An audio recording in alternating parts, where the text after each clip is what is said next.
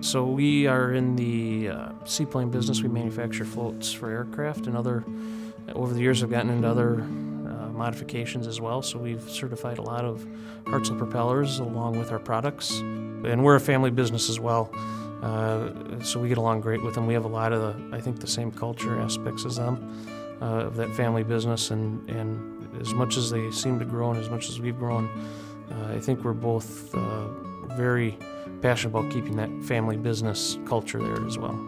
They do a great job. They make they have a phenomenal product. They stand behind it, uh, and they have great people that work for them. Uh, just a talented group of people that that enjoy what they do. So to Joe Brown and all the wonderful people at Hartzell, congratulations on 100 years, and we look forward to working with you for another 100 years.